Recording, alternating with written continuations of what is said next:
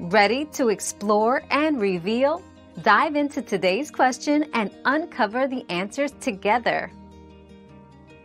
It's usually recommended for newborns to eat every two to three hours. However, some may sleep longer stretches at night, up to four to five hours. If your newborn is gaining weight and having regular wet and dirty diapers, a five-hour sleep stretch can be okay. Always consult with a pediatrician to ensure this fits your baby's specific health needs. We've quenched today's curiosity, but there's always more to learn. Keep the curiosity alive by subscribing and joining us for our next adventure.